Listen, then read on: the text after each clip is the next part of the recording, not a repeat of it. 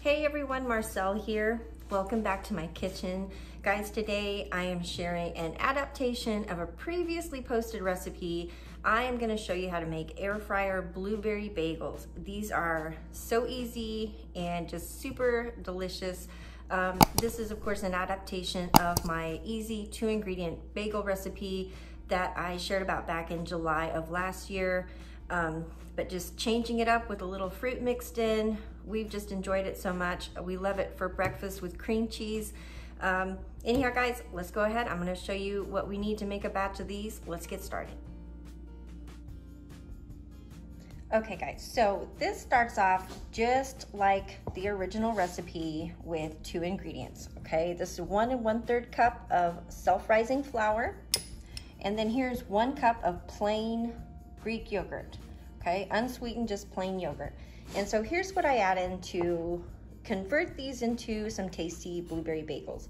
I actually do add a little sugar to this recipe. Um, this is two tablespoons of regular sugar. Now, normally I will add my favorite um, non-sugar sweetener, but I am totally out of it. So I'm adding in just a little regular sugar today.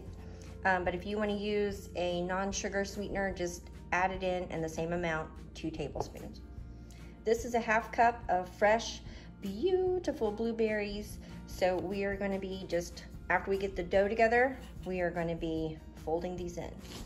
Now, a little later on, uh, I have just some extra flour here for when I put these out on the surface to work with them, or put the dough out on the surface to work with them, sorry. And then here's one large egg, and I'm gonna whip it up with some water for an egg wash later on down the line.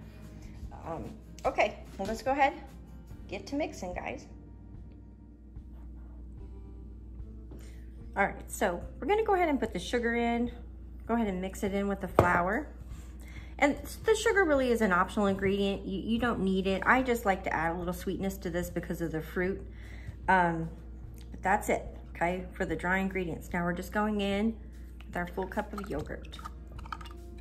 And it'll take us a few minutes to work this all in, but we'll have a very shaggy dough here in just a couple of minutes.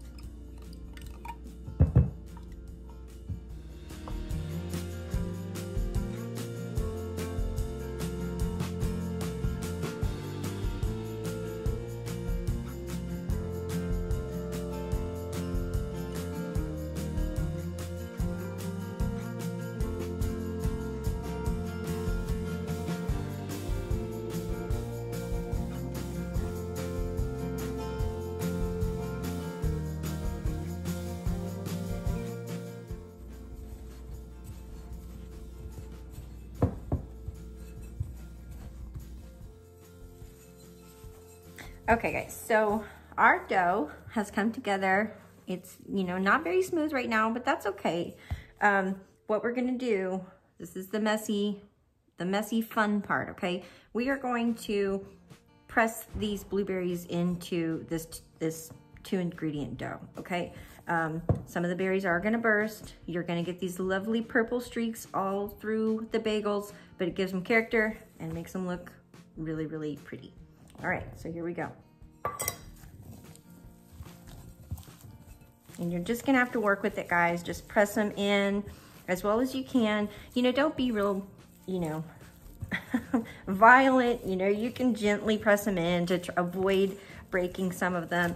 Um, but many of them will burst into this. See, it's already starting a little bit, and that's okay.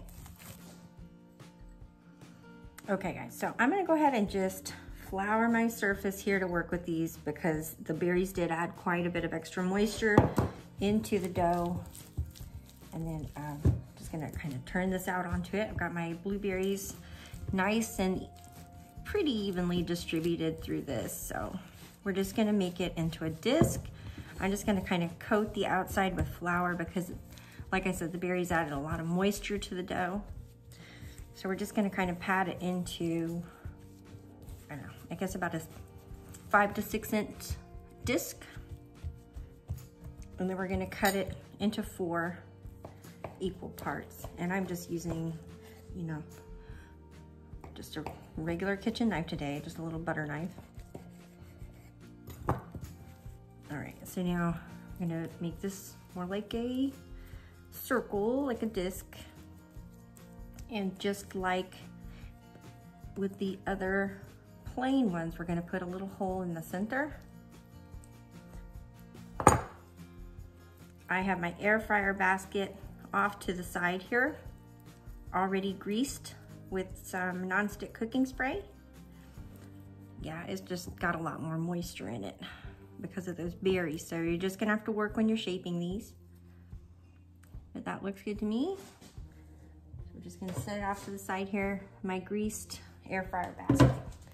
I'm gonna do the exact same for these other three bagels. And then I will meet you back here when I start them cooking.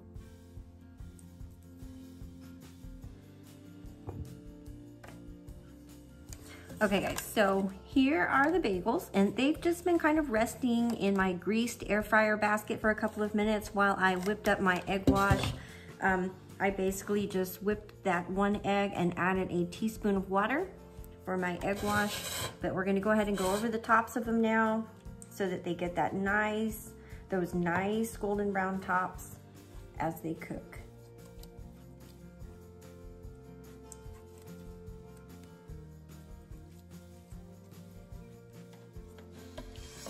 Okay, y'all, so I've got my air fryer set at 400 degrees. Here are the bagels with the egg wash on top. And we are gonna go ahead and set this timer for eight minutes. Um, if they didn't have the fruit mixed in, they would cook perfectly in seven minutes. But we're gonna go ahead and set these for eight, um, and then we'll check them. The fruit uh, adds so much moisture that they will not need a couple minutes extra cook time, but we'll just keep an eye on them. All right, let's get them started. We'll check on them here in a little bit.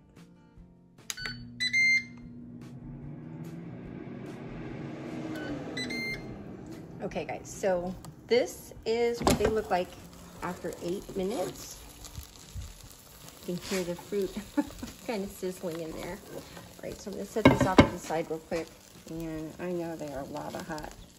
Uh, but truthfully, just to uh, make sure they're done in the middle. I'm gonna pop them back in there for one more minute for a total of nine minutes, and then we'll cut into them and see what they look like.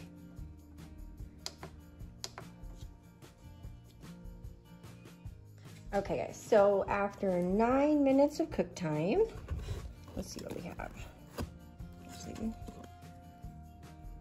Ooh, they are screaming hot. Let's set it here. Yeah, well, I definitely didn't form a circle, but they are gonna be delicious, guys, no matter what. I'm gonna go find some cream cheese.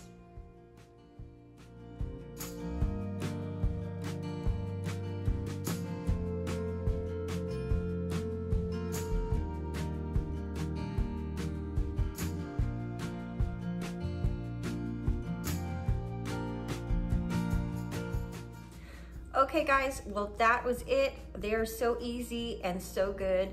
It is just an amazing feeling to have these fresh air fryer bagels for breakfast or really any time of the day. Like I'm about to have one right now for an afternoon snack. Um, but I do hope you enjoy the recipe. I hope you share it with any of your family and friends who also love it. Please don't forget to leave me a big thumbs up on the way out if you enjoyed this video. Um, Hope everyone is having a happy, safe, and healthy new year so far. Thanks for watching, guys. I will see you in the next video.